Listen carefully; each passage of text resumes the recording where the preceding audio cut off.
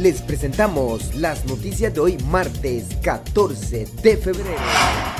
Ataque armado en autobús deja dos muertos y tres heridos en Chimaltenango. Bomberos municipales departamentales informaron que un autobús se detuvo en su estación en el Tejar, Chimaltenango, por un ataque armado dentro del transporte que dejó al menos dos muertos y tres heridos. El ataque ocurrió durante un atraco al transporte en que los asaltantes habrían escapado. Según versiones preliminares, las víctimas son pasajeros. Ataque armado en Ruta Nacional 14 deja dos personas muertas.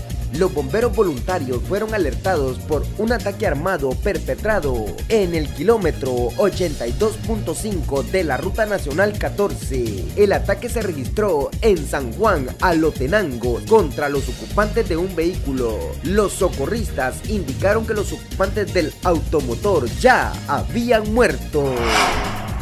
Avioneta se accidenta en Petén y habría al menos tres muertos. Socorristas y fuerzas de seguridad localizaron una avioneta accidentada en San Francisco, Petén, la cual se incendió luego de desplomarse. Autoridades locales informaron que preliminarmente se estima que tres personas murieron en el percance, cuyos cuerpos habrían quedado quemados.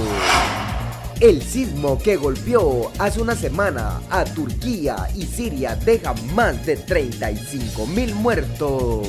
El balance del terremoto que sacudió hace una semana en Turquía y Siria ascendió a más de 35 mil muertos y ante las escasas perspectivas de encontrar supervivientes, los esfuerzos se centran ahora en ayudar a los millones de personas que se quedaron sin hogar la situación es especialmente grave en Siria, ya devastada por más de una década de guerra civil.